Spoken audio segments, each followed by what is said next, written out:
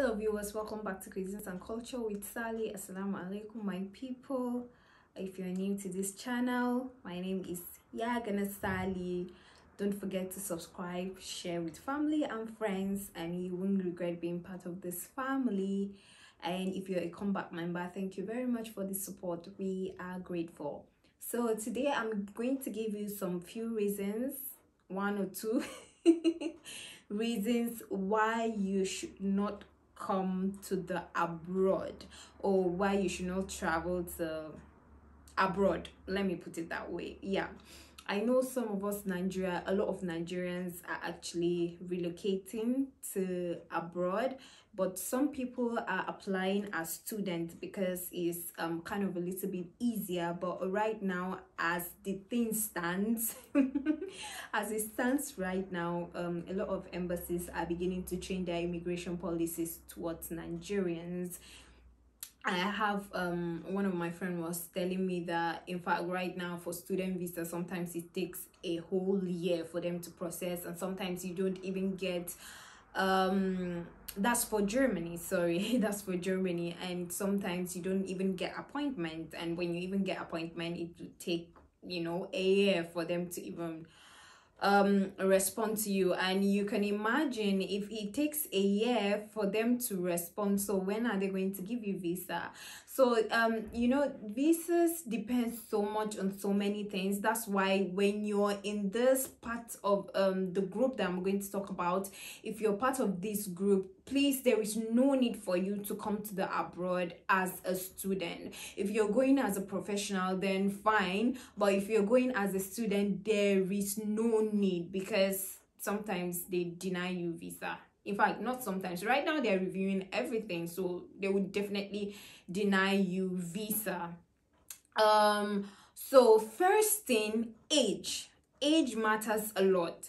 So imagine someone of 40 years not even 40 years let's say 35 or 30 something or 40 years coming to study in the abroad and the person is coming for degree.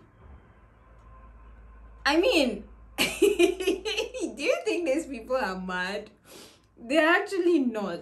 If you're among that age age group you're 40 and above and you want to relocate to the abroad please relocate as a professional or maybe you're coming for your phd it's understandable. But if you're coming as an undergraduate forget it they will not i'm not saying you should not try try and see the outcome but there is no need for you to spend that money and go through all those stress.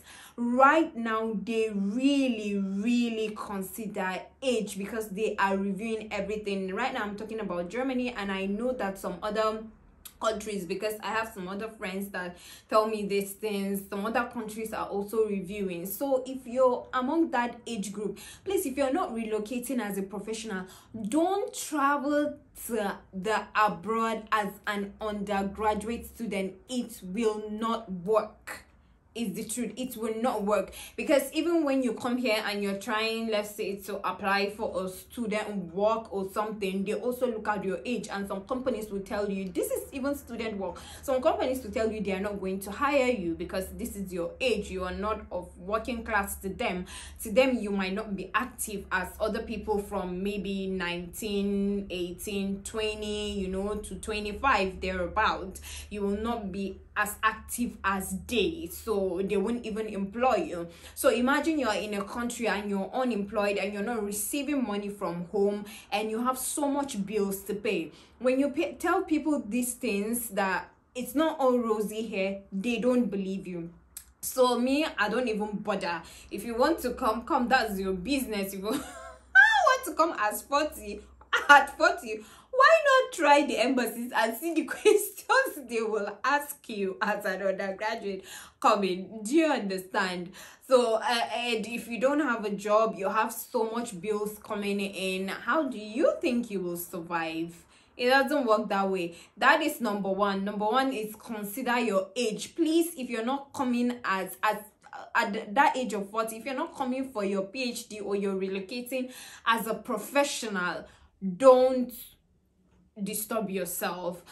And also one more thing is that when you have a good job in nigeria the problem with nigeria is that we have bad leadership and that is why things are going on the way they are. But hopefully we're praying that things will be better.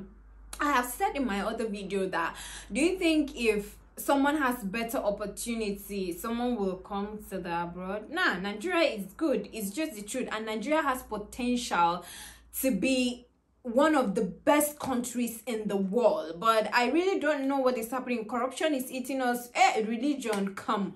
And tribalism is eating us and so many other factors so if you're in Nigeria and you have a good job, imagine someone being in Nigeria and you're having a good job, you're getting like 200k above or maybe even 500k above and you say eh, let me leave that one no. I want to come to the abroad. And everybody's coming. I want to come to the abroad. Come you will see. You, you will see. Come. I have heard so many stories of people regretting and some people even going back home and trying to get their jobs back because of the intense of taxes and you know some other things here. So if you have a good job in nigeria there is no need for you to travel abroad.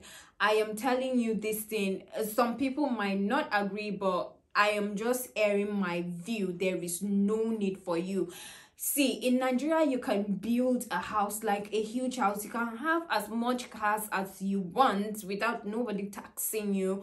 You come here having even one car to manage one car is the problem. Talk more or less of having a house. Even if you have your house on your own you'll be paying tax on top of that house. Yeah you'll be paying tax on top of that house.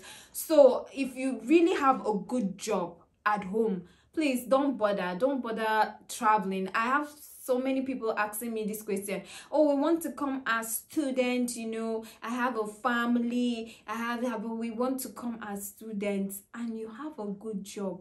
What do you want to come and do no really what do you want to come and do? Do you think is uh, i don't i don't even understand some people. I'm just airing my views. But if you really really have a good job you have a business at home why do you think even when people are here people are having businesses at home? Why why do you think that happens? And some people that are here are developing their houses and other things at home. Because most of them hey when they're done here they move home they go back home they retire back home because home is everything. You have everything. You have your peace of mind um you know nobody is chasing you to go for immigration do this do that and everything. You have everything worked out for you. So most people um let me put it that way come here to maybe hustle go back home build whatever they have have businesses at home. I have had a, i have had stories.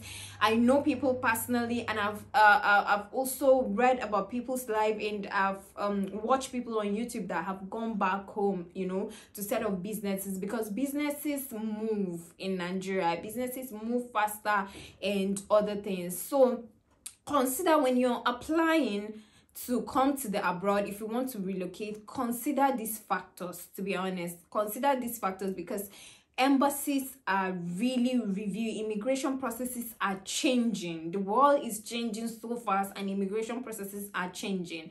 If you're not going as a professional no need to disturb yourself. If you're in this category of the group i just mentioned watch your age and then if you have a really good job or you have a good business. So if you're not coming also if you're not coming for your phd at that range there is no need because you know when you're coming for phd then it's maybe an organization or maybe the university you're lecturing and it's sponsoring you to come and do your phd which is really good. Research works are really good here. Do you understand? So if you're in this category just consider and see and weigh it weigh it and hear people's story.